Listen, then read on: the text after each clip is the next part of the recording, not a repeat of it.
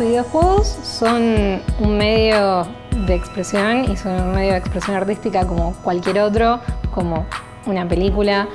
o un libro o una pintura. Y uno de los recursos principales del videojuego es que podés construir experiencias interactivas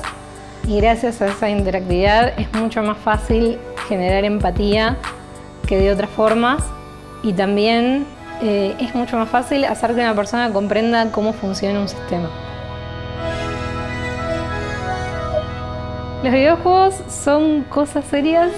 según el tipo de videojuegos que uno esté haciendo. Lo que sí cuesta es que la gente se los tome en serio. Creo que a veces que la gente no se los tome en serio ayuda a que ciertos mensajes tengan más impactos porque tenés como un factor de sorpresa de, uh, no me esperaba que un videojuego pueda hacer estas cosas. Ciertos videojuegos que hago o ciertos videojuegos que jugué que tratan por ahí temas bastante serios o que por ahí son medio fuertes emocionalmente en el sentido de impacto emocional que causan, la gente se sienta y lo juega y te dice, uh, me emocioné y no me esperaba que me pasen estas cosas con, con este videojuego. Eh, tengo un problema que mucha gente me dice que mis videojuegos les hicieron llorar y preferiría que no pase eso, pero bueno, eh, me lo dicen como algo positivo, así que tengo que tratar de tomármelo bien.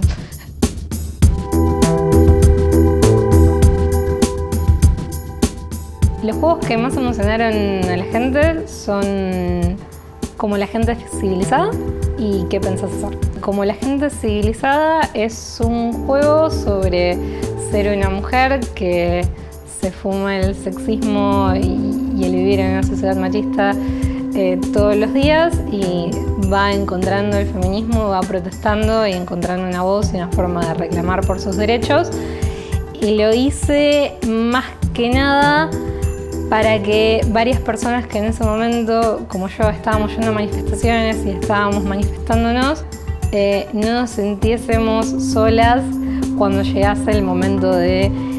amigos o familiares o gente cercana diciéndonos no estamos de acuerdo en cómo reclaman o no nos representan o lo que sean. Era como decir, mira, no estás sola y tratar de que esa gente se sienta más contenida. Y tuvo como efecto secundario que varias gente se concientice sobre ciertos reclamos sociales feministas. La mayoría de la gente piensa que programar o hacer videojuegos son como actividades que se dan en solitario y en realidad son actividades que son bastante sociables y donde tenés que saber comunicarte muy bien porque si no sabes comunicarte no vas a poder ponerte de acuerdo y no, no vas a poder sacar ningún proyecto adelante. Entonces en realidad la mayoría del tiempo es hablar con otras personas, coordinar y ponerse de acuerdo y después está el momento de ejecución que lo puedes hacer solo o acompañado según el tipo de proyecto en el que estés. Puede que en 10 años eh, termine orientándome más al lado de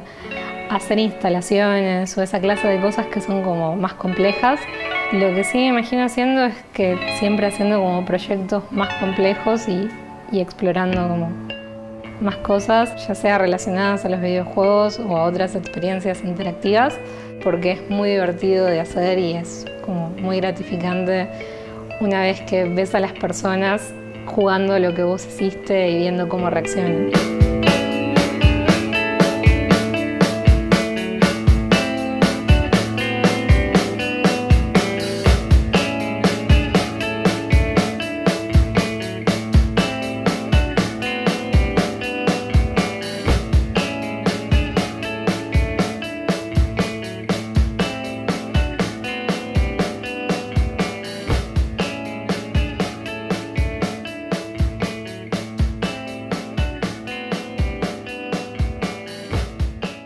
Este proyecto ha sido ganador del Fondo de Fomento Concursable para Medios de Comunicación Audiovisual, un mecanismo de fortalecimiento de la pluralidad de voces y subsidiado por el Ente Nacional de Comunicaciones, bajo la licencia del Creative Commons Atribución Compartir Igualdad 2.5 Argentina.